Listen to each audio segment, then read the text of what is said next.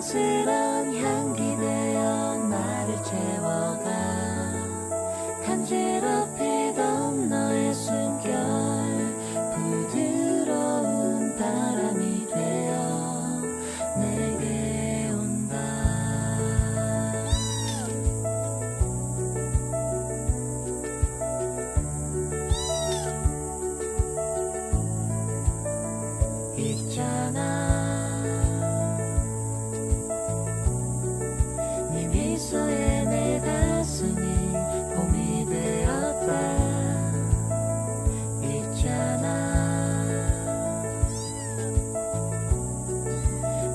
순간에 내 마음에 꽃이 피었다.